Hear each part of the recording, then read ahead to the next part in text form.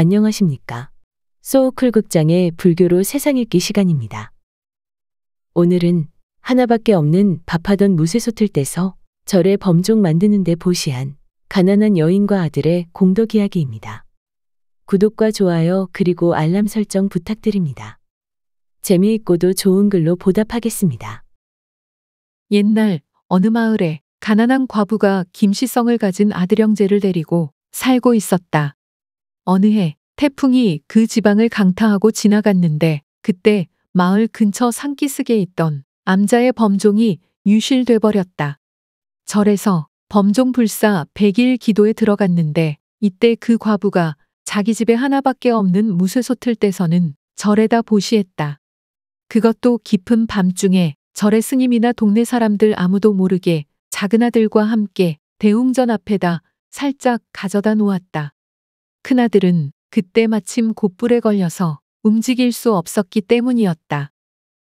밥솥을 바쳤으니 밥은 질그릇에 할 수밖에 없었는데 무쇠솥을 사기 위해 오랜 세월 돈을 모았지만 결국은 사지 못했다. 그때까지도 과부댁의 소치, 절의 범종 일부로 변한 줄을 아는 사람이 없었으니 가히 무주상보시라 할 만했다. 세월이 흐르고 흘러 마음씨 착하고 불심 돈독한 과부는 늙어서 죽게 되었는데 여인은 무쇠솥을 새로 장만하지 못한 것과 생전에 두 아들 장가를 들이지 못한 것 두 가지를 크게 슬퍼하였다. 형제는 어머니의 영전에서 새삼 다짐하였다. 어머니를 좋은 땅에 모시자. 그래야 어머니의 소원대로 우리가 장가를 갈 수 있을 것이다. 그러나 큰 소리만 쳤을 뿐 이름 있는 직관을 모실 돈이 두 형제에게는 없었다. 그날 밤 동생의 꿈에 누군가가 나타났고 다음 날 동생이 어머니의 관을 지게에 지고 나가면서 말했다. 형님, 어머니는 내가 반드시 명당 자리에 모실 터이니 너무 걱정하지 마세요. 동생의 결심이 워낙 확고하니 형은 말릴 수가 없었고 어머니의 시신을 짊어진 김생은 꿈속의 사람이 시킨 대로 걸었다. 하루 종일 걷다 보니 산속에서 날이 저물었는데 먹이를 찾는 짐승들의 으르렁거리는 소리가 사방에서 들렸다. 더 이상 나아갈 수가 없어 지게를 받쳐놓고 생각하니 밤을 지낼 일이 막막하였다.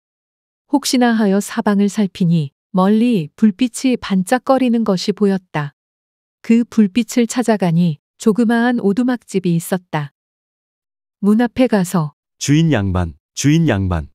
하고 부르니 한 처녀가 나왔다. 여기는 봄에 꽃이 피어도 나비와 벌도 오지 못하는 곳인데 누가 와서 찾는 거요? 사람이거든 들어오고 짐승이거든 썩 물러가라. 사람이요. 그러면 들어오시오. 김생이 방으로 들어가 보니 방 안에 책상이 하나 놓여 있고 그 위에 그녀가 보던 책이 펼쳐져 있었다. 책상 앞에 앉아 책장을 넘기다가 글을 힐끗 보더니 그녀가 말했다. 밖에 받쳐놓은 것은 무엇인가요? 보지 않고도 김생이 지게에 무엇인가 지고 온 것을 알고 있었다. 평생 고생만 하시던 어머니가 돌아가셨는데 좋은 자리에 묘를 쓰고 싶어서 지고 다닙니다. 저녁은 자셨나요? 아직 먹지 못했습니다. 낭자는 김생에게 대추 세 개와 밤세 개를 주면서 먹으라고 하였다. 그것을 먹고 나니 희한하게도 배가 고프지 않았다. 눈을 감고 무슨 생각인지 하고 있던 그녀가 얼마 후 눈을 뜨더니 말했다. 살펴보니 당신과 당신의 모친은 공덕을 많이 쌓았더군요. 좋은 자리를 얻을 수 있을 것이오. 내 말을 들으시겠소? 듣지요. 어떻게 할까요? 오늘 밤은 여기서 자고 내일 새벽에 어머니를 지고 저 아래로 내려가면 길이 나올 것이오. 그 길로 한참 가면 연꽃이 가득 핀 연못이 있을 것이니 그 연못에 어머니 시신을 넣으시오. 그때 웬 머리 덥수룩한 사람이 뒤에서 큰 소리로 부를 터인데 뒤를 돌아보지 말고 와야 합니다. 만약 돌아보면 죽습니다. 알았습니다. 이튿날 새벽 김생은 낭자의 말대로 연못으로 갔다. 어머니의 시신을 연못에 던질 생각을 하니 기가 막혔지만 다른 방법이 없었다. 또 낭자와 약속까지 하지 않았던가. 웬일인지 김생은 그 낭자에게 믿음이 생겼다. 김생이 시신을 연못에 던졌다. 그때 웬 머리 덥수룩한 사람이 나타나 누구냐? 고 병력 같은 소리를 질렀지만 뒤를 돌아보지도 않고 뛰었다. 김생이 돌아가니 낭자가 다시 대추 세 개와 밤 세 개를 주면서 먹으라고 하였다. 그걸 먹었다. 그러자 이번에는 은색 가위 하나와 편지 한 장을 내놓았다. 이걸 가지고 저 아래 큰 동네에 권대감 집을 찾아가서는 은색 가위를 사라고 외치십시오. 그러면 그 집에서 당신을 죽이려고 할 것입니다. 그때 이 편지를 보이도록 하십시오. 김생은 권대감 집을 찾아가 은색 가위를 사라고 하였다. 권대감의 아들이 나와서 보니 그것은 자기 누님이 쓰던 것이었다. 권대감의 아들은 그 가위를 가지고 들어가서 부친께 보였다. 아버지, 이거 보셔요. 이건 틀림없이 누님이 쓰던 은색 가위예요. 대감이 가위를 받아 살펴보니 틀림없이 딸의 것이었다. 내 누이의 관 속에 은가위를 넣은 사실은 우리 식구 외에는 아무도 모르는데 도대체 가위가 어디서 나왔단 말이냐? 대감은 딸의 묘를 파서 가위를 꺼내 팔려고 하는 놈이 있음을 보고 이를 그냥 두어서는 안 되겠다고 생각하였다. 그놈은 도굴범이 틀림없다. 손님 방으로 들게 하여 몇 가지 음식과 독한 술을 주어라. 술에 취하게 한 다음에 죽여야겠다. 대감의 아들은 김생을 손님 방으로 데리고 들어가 앉힌 다음 술과 음식을 대접하였다. 김생이 술과 음식을 먹고 밖으로 나오니 앞마당에 그를 잡아서 죽일 준비를 해놓은 것이 보였다. 그 광경을 본 김생은 얼른 편지를 꺼내어 대감에게 주었다. 그 편지에는 이렇게 쓰여 있었다. 이 사람은 여러 생에 걸쳐 저와 깊은 인연이 있는 사람입니다. 저는 불보살의 도움으로 이 사람과 혼인하게 될 것입니다. 저의 49제 날이 혼인날이 될 터이니 불승 여러분을 모셔와서 묘 앞에서 법화경을 읽게 해주십시오. 편지를 읽은 대감은 그를 잘 대접한 뒤에 손님 방에 가서 쉬게 하였다. 49제 날 절에 스님 여러분이 와서 법화경을 읽으니 갑자기 구름이 몰려와 낭자의 무덤을 감싸더니 무덤이 쫙 갈라졌다. 그러자 그녀가 잠을 자다가 일어난 듯이 걸어 나왔다. 아버님, 제가 저승에 가 있는데 이 사람이 저희 저승 집을 찾아왔습니다. 그래서 그 공덕으로 다시 살아났습니다. 대감은 딸을 환생하게 한 김생에게 상으로 많은 전답을 주고 딸과 혼인하게 하였다. 세상에 부러운 것이 없는 형편이 되었는데 웬일인지 김생의 얼굴은 늘 어두웠다. 그 모습을 본 아내가 말했다. 무엇이 부족하여 당신은 늘 한숨을 쉬시나요? 제가 마음에 들지 않은가요? 부인, 무슨 그런 말씀을 하십니까? 그게 아니라 어머니 시신을 연못에 던진 것이 자꾸만 마음에 걸립니다. 어머니를 한번 만나보시겠습니까? 만날 수만 있다면 얼마나 좋겠소. 당신이 나를 만나고 나를 되살린 것은 그동안 덕을 많이 쌓아서 그랬습니다. 어머니를 만나려면 다시 적덕해야 합니다. 어떻게 하면 되겠습니까?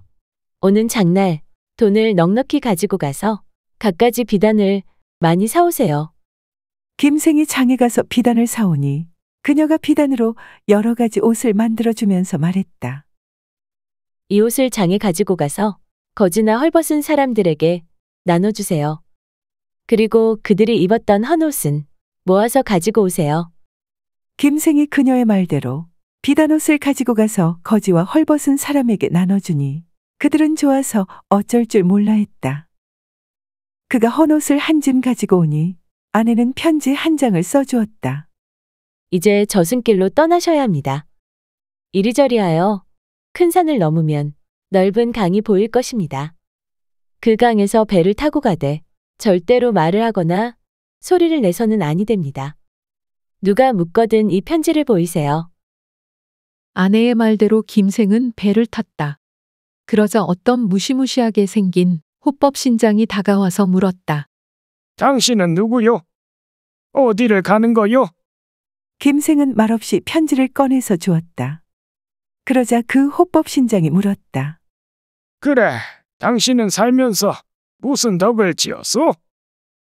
김생이 등에 진 것을 보이니 그 사람이 그것을 받아 모두 불에 태우고는 편지 한 장을 주면서 말했다.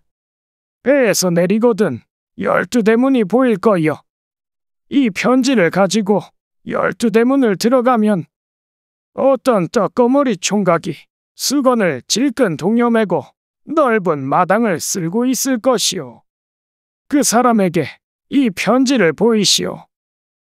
배에서 내린 김생이 열두 대문 안으로 들어가니 과연 어떤 떡거머리 총각이 마당을 쓸고 있었다.